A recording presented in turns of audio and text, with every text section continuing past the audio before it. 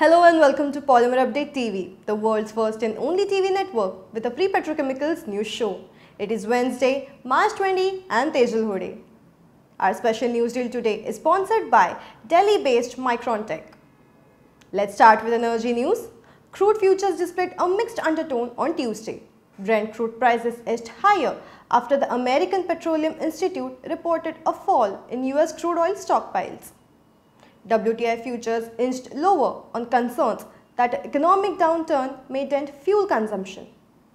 Brent crude prices climbed at $67.61, a marginal gain of 7 cents per barrel, while WTI finished at $59.03, a fall of 6 cents per barrel. According to Vandana Hari of Vanda Insights, crude futures were slightly softer in relatively slow trading early Wednesday in Asia in tandem with the region's major stock market indexes, most of which had opened in the red amid conflicting reports over the progress of US-China trade negotiations. Open spec naphtha prices gained at the 569 US dollars per metric ton CFR Far East Asia levels, a day-on-day -day increase of 9 US dollars per metric ton. Moving on to Asian market update for PP, PE and PVC.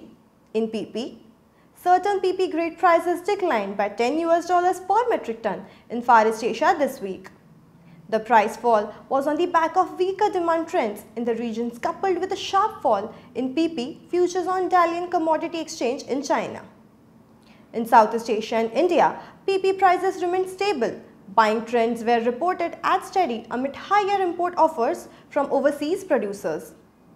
In PE, this week, HDPE prices in Far East Asia, Southeast Asia and India slipped by 5 to 10 US dollars per metric ton. The price fall was on the back of dull regional buying interest. LDPE prices in Far East Asia and Southeast Asia dropped by 5 to 10 US dollars per metric ton this week. The price drop was mainly on account of weak demand and deals concluded at lower price levels in the region. In India, prices of LDPE remain steady amid tight regional product availability. This week, LLDPE prices in Far East Asia were assessed lower by 10 US dollars per metric ton. Prices slipped on the back of sluggish buying trends coupled with a sharp drop in LLDPE futures on the Dalian Commodity Exchange in China. In PVC, this week PVC prices in China, Southeast Asia and India tumbled between 30 to 50 US dollars per metric ton. The steep price fall was attributed to a plunge in import offers from overseas suppliers and weaker regional demand trends.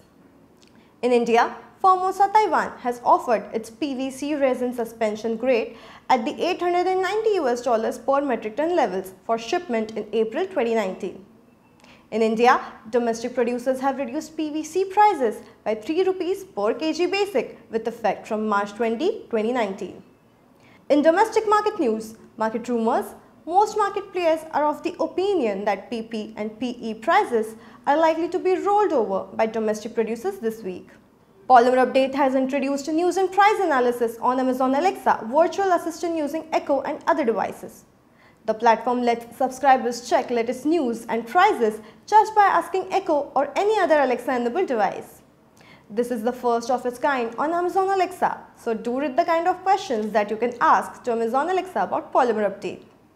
Our special news reel today is sponsored by Delhi-based Micron Tech, a leading manufacturer, supplier and trader of fully automatic, semi-automatic PET stretch blow molding machine plants, PET molds PET bottle machines, PET jar machines, compressor, chillers and dryers.